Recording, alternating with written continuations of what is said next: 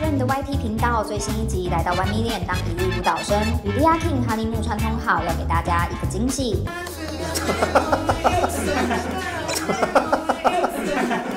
아니 근데 텐션이 어, 진짜 너무 좋다. 어. 좋죠, 좋죠. 근데 장르가 뭐라고요? 아, 오늘 약간 안무 스타일 이 이게 숨겨질까요? 이게 슈퍼스타의 아우- 아우라가 어떻게 숨겨요?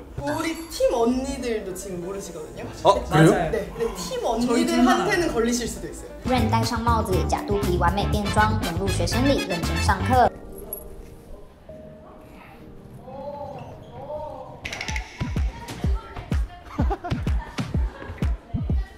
最后成果发表环节惊喜登场，全员震惊，尖叫声简直要掀翻屋顶。只能说亚洲天王真的是太会跳啦！